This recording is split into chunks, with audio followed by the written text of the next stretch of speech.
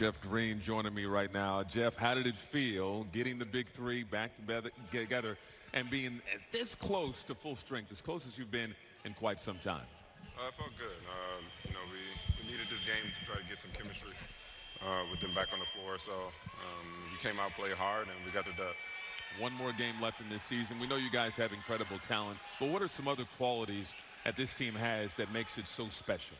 Uh, we got a lot of guys who can score. Everybody looks at the big three, and um, you know they always focus on them. But we got a lot of guys who can put the ball in the basket. Uh, we got guys who can play both ends. So uh, you know we, we got a lot of weapons. So you know it's tough to scout for us. So you're one of those weapons. You had 19 points, couple of dunks, matched your season high with five three-pointers in the game. How would you describe the rhythm you were able to get into today? Uh, my teammates fouled me. Um, I'm just trying to be aggressive, uh, make the open shot. Uh, they were falling tonight, so I just I just kept shooting. So um, you know it was it was a good feel. So I'm just glad we won. Last one for you, real quick. What excites you most about the playoff run you guys are about to embark on?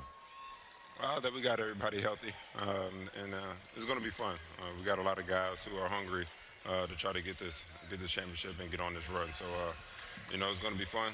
we got a you know, tough task ahead, but uh, I think we're going to be ready. Looking forward to it. Thanks so much for your time, Jeff. No